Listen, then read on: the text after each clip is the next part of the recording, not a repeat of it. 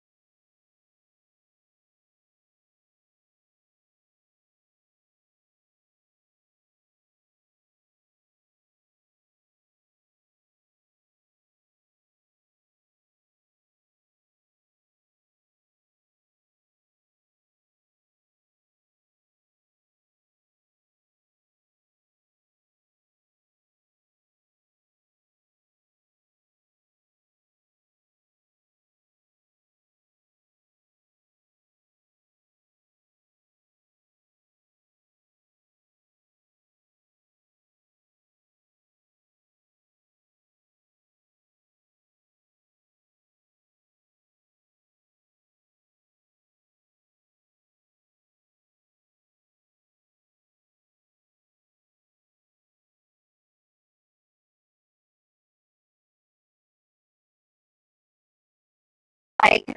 shall we see, my grandmother as